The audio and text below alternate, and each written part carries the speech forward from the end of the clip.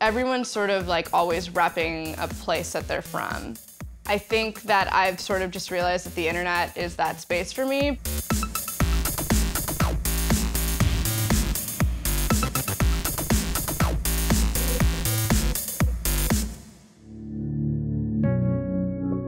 Growing up, it was interesting and frustrating being someone that was born in Puerto Rico, who moved to Indiana out of all places where there are literally no Puerto Rican people. And I think the reason that I went to the internet was to find a place where I felt like I belonged in a sense. That doesn't mean that it's like a perfect place and it's not without its problems. And obviously I'm like super frustrated by it all the time, but it's the only place that I could feel like I could really represent fully in a lot of ways.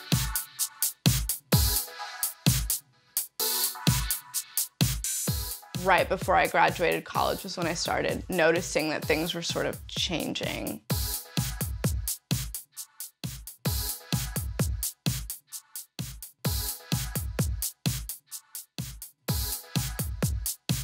that was like the first time that I had realized that people were paying attention to me because I'd never had the idea that someone could recognize me from the internet in real life.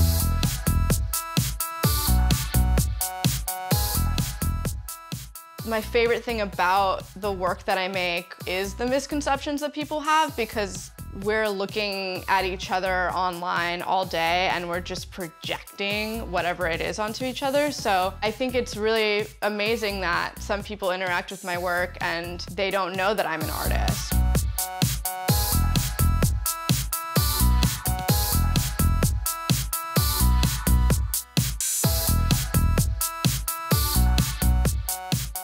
Sort of like when people look at my work who do know that I'm an artist and they don't think that it's art because they're like, well, what's the difference between you and like some famous person on YouTube or like someone that takes pictures of themselves?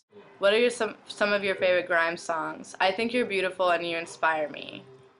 Oh, LOL. I think my piece Inbox Full, which is a piece of me reading my entire Tumblr inbox for 10 hours that I recorded and put on YouTube, is a huge piece for me. I really didn't know what I was doing at the time.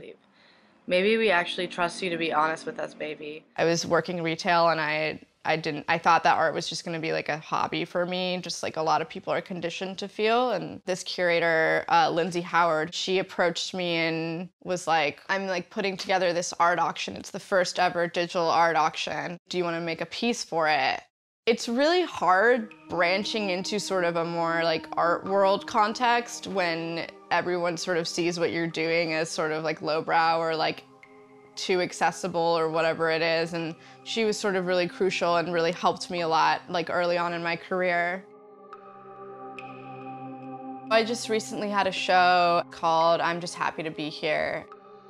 In the show, you have a laptop that has a bunch of files on it that you're meant to go through. Sort of feeling like you would just be going through someone else's computer and like looking at all their files. On the two mirrors, uh, a very persistent man who's messaging me, asking me to message him back.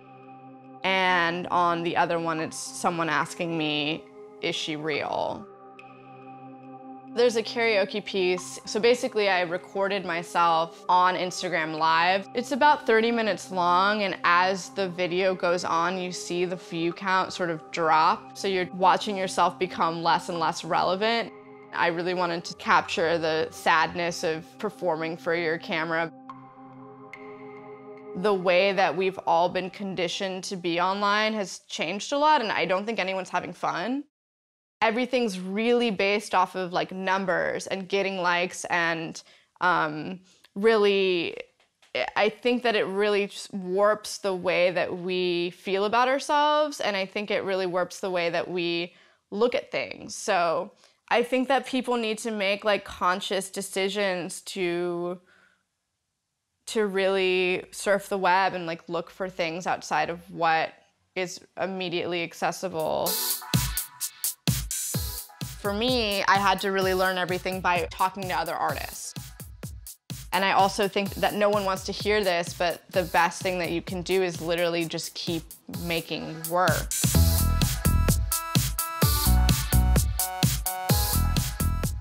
And I think it's really good to actually be really transparent. Like it's sort of good to be like, this is how much you should expect to get paid. This is like how you should sell a piece of art. This is how you should do things. And I think just opening up that dialogue and people being more helpful to each other in that way will like strengthen. I just feel really fortunate that I have sort of a base or like a community that allowed that for me.